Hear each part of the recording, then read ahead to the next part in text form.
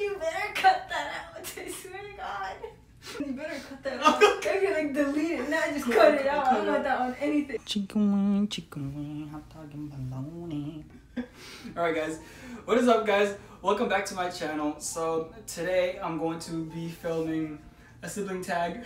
it's, it's gonna be such a mess. I'm gonna be filming a sibling tag with my sister today inshallah and while we do it to make things more interesting we're going to paint. So that's why I have this canvas over here and there's another one over there. But yeah, so everyone, Rima Baji, home now. We need water. We need like a cup of water. Paint's gonna go in there. Yeah, it's fine. No, it's not. That's a drinking cup. Yeah, Mama's gonna get angry. But shouldn't it be fine? Just don't tell her. Alright. Back.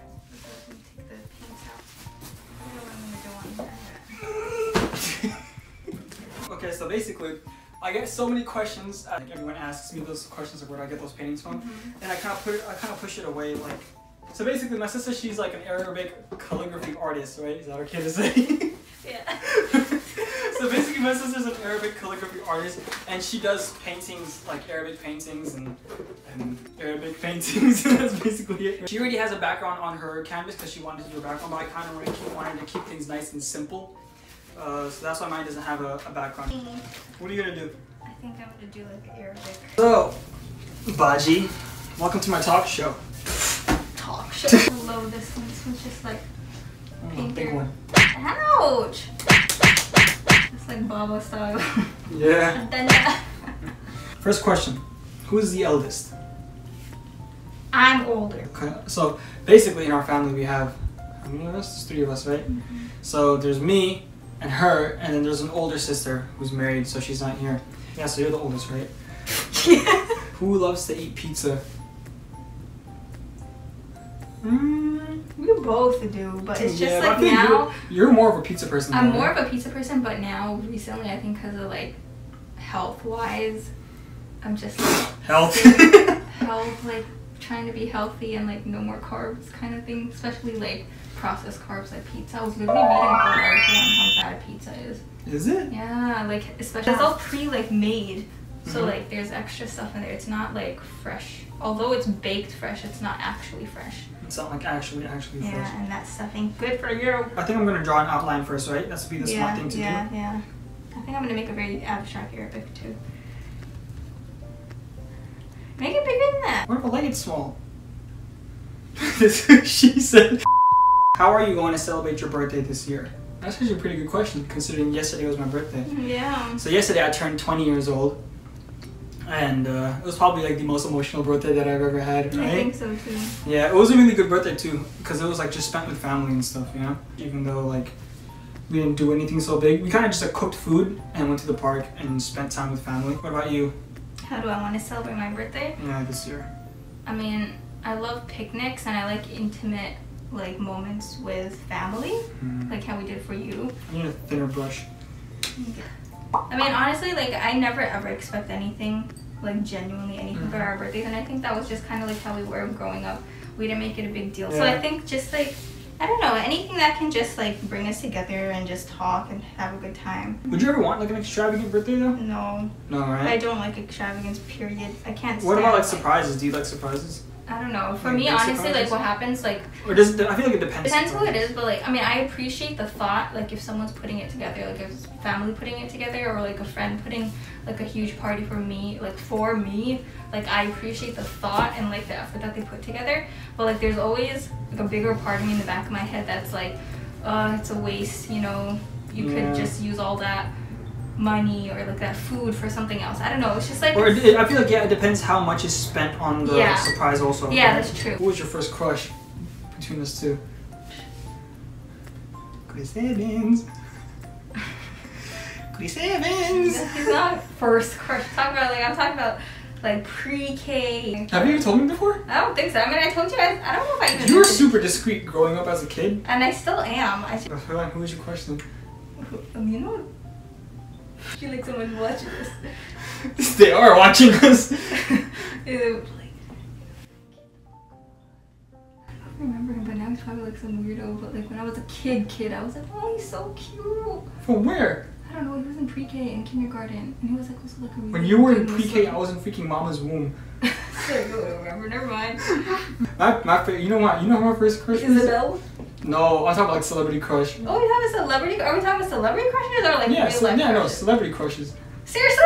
Yeah, so I was like, good heavens. No, because you asked who was your first crush. yeah, but as in like, you know what I mean? They're not gonna know like personal people, you know. Well, who knows? First, who was your My first? crush? first celebrity crush ever. Yeah, I mean, we didn't. Hmm. Aladdin. Wait, and you're actually thinking about that? No, no, it wasn't Aladdin. Definitely not a cartoon. Like I'm trying to think of Nickelodeon and stuff. Oh, probably David Henrie from Wizards of Waverly Place. Seriously? Yeah, he was like David Henrie? Yeah, you Oh, know God. what's his name in there? Justin, right? Yeah, Justin. Justin yeah. Russo. Yeah, he was like this weirdo, and you know how I like, like, I like The weirdos. thing for weirdos. So he was just like so cute. That is weird. Justin Russo. Yeah, Oh. yeah. Like celebrity crush. Mine was a pink Power Ranger. Do you remember that? Yeah, yeah, I do. The pink Power Ranger. I remember, she was pretty. Mine, yeah, she was. Her name was Kimberly. Yeah, yeah. What sweet dish does she love the most? Alright, let me guess this. Um, I want to say dark chocolate, but that's not like a Is it? dish. You know what I mean? Yeah. It was the Miss de Chocolat in the refrigerator. the refrigerator. You take it out of the the refrigerator. There's No, this one tic- dude. There's this one. TikToker who's like a French dude. You're gonna love him, and he's so funny. He's hilarious. Who is more artistic among you? You want me to answer that? Mm-hmm. I think me. Nah. I think we're both creative in our own ways. Yeah, but you're. I think you're more creative, like in ideas.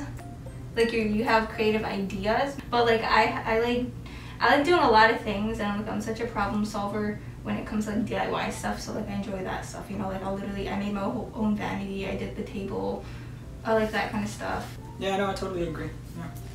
Because you're always like up for a challenge when it comes to creativity. Where Yeah. for me, it's like I would look at like a certain project. Like I don't really, I don't look to like a piece of, of furniture and be like, I, how can I creatively like design it? For me, it's like I, if I have a blank canvas, how can I, like you know? So I mm-hmm. guess we we definitely express it differently. Oh no, nice so far, yeah. Yeah. I need to paint more often. Painting is a metaphor of control.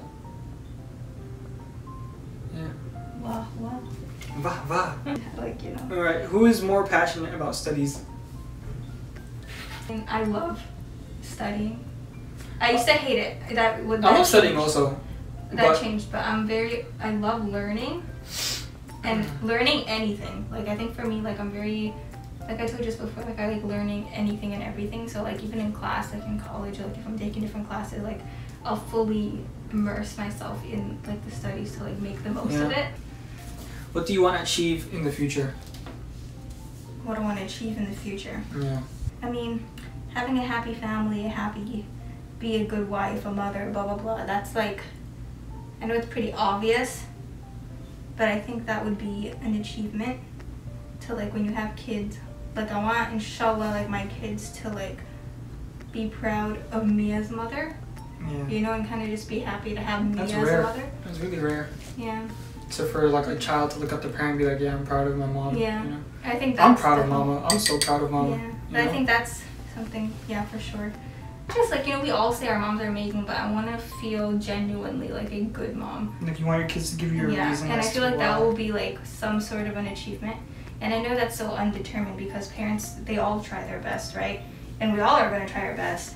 But it's just like, will that best be enough Yeah. to see the outcome in your kids? Yeah. Yeah, so for me, I think it's the same thing also. It's like, I think I just want to be a good father, you know what I mean? Because, I don't know, I think, like, personally, for both of us, we've been exposed to so many, like, families and so many individuals that are, like, our age who just unfortunately haven't been brought up in the best way possible, you know what I mean? Or we've just been mean, we've just been mistreated. We obviously see it's a reflection of, like, how the parents are. And I think like it's a full on goal. Like it's such a valid goal. Some people don't think of it as that That deep. that deep in the sense that oh I have to work on myself to be a better not just person, you know, everyone's just like I need to work on myself to be a better person, a better me. But in what role, You know, like we, we have different Yeah, roles that we that's play. true. That's like, so true. Like you you have like I have everyone has their roles to play. Right? Like I'm a woman. I will eventually I want to be a mom. I'm a daughter. I'm a sister. I will be a wife, and I want to play all those roles You're a teacher. um, yeah, a teacher, and I want to play all those roles perfectly, or not perfectly. Or like how? Yeah, it's like how can I equip myself with those qualities that can help me achieve that level of like being the best that I can. you know? Yeah, exactly. Look at that. It looks so good. Doesn't it? hmm I'm proud of you. You're so proud. What type of attire do you like to wear? Damn, I actually like these questions now. Because they're like deeper, you know what I mean? It's like questions Yeah. that people actually should be listening to.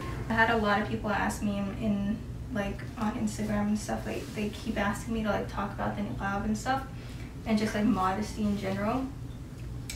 Um, so I mean, like the way I like to wear, like how I like to wear clothes. At the beginning, like I never thought of it as such a big deal. Like even now, sometimes like I really don't care. Sometimes like how I look like when I'm outside. Like if I'm, you know, if things don't match or whatever. Like it does. It's it's In terms just perspective, you know. Yeah. But like, obviously, in Islam, modesty is is like the dominant um, principle that is you know mainly taught. Yeah, so like in Islam, modesty is it's super important, right? Because like as a Muslim, you're openly practicing religion. Then, like the, the attire that you wear and like just the the level of modesty that you hold is important, right? I think like it's funny to say this though because ugh, the topic of culture and religion, the famous topic of culture and religion, always the clash of that. But I think Islamically, Islamic dressing and Islamic dress code is just simple as it is modest. You know, no matter what culture it is. But what's like the definition of like modest in Islam? Like what what would be like the description? You know what I mean? Because some people are like, oh, I'm covering everything, but it's like skin tight. You know what I mean? Yeah, so that's what I'm saying. So I mean, this it's there's no like ultimate definition. Like, it's not black it. or white. Yeah, it's not. I mean, some of it is To a certain extent. To a certain extent, because you know, modesty is not just expressed through clothes. You know, it's a kind of quality that shines through your intentions, your your actions, and all of that. Um, the importance of how our intentions are, you know, and I never really understood that until I was older. Like I always heard like check your intentions at the beginning, in the middle, and at the end. I feel of like yeah, because something. until you're older and you actually have intentions of Yeah. doing something, you don't understand the what does that value of like what it actually means. Yeah, you know, the Prophet doesn't tell us that we have to cover. Um, for girls, for example, we cover our clothing until our wrists, and then until our ankles are included, you know, and our hair is also included. But then that's just like fiqh wise, like lawful wise, how much you're supposed to be covering. But you have to also understand the wisdom behind that, and understanding the wisdom behind some of those like um, commandments is where you can really perfect your deen. Because if there's no answer to every Yeah, because if you don't have a reason as to why you're doing what you're doing, Yeah. then you don't have the factor Yeah. of strengthening Yeah. that thing. You know what I mean? Comment down below if you guys want to see a podcast with me and my sister. I'll be actually be really really beneficial. appearance is just vanity. That's just what people see. So at the end of the day, Allah is going to judge you through your heart, right? So yes, in the sense that um, whatever is coming from within, and I think in those senses, I feel like Shaitan creeps up the most in that. Listening to this one Mufti Menk thingy, and he was like, sometimes Shaitan makes halal. Yeah. I'm sorry, he makes haram look halal. Yeah. So basically, he'll use halal as the bait, Yeah. but he'll mask it with the haram. You that's know what I mean? literally what I, that's such other words of exactly what I would say. More recently than like before, I've been super careful with Yeah. just how I deal with people online, whether it's like commenting or hyping someone up. Yeah, Online, you know what I mean? Because a lot of that it, it stimulates like subconscious thoughts and it stimulates like other people seeing that as something different. You know what I mean? And it can be misleading by a mile.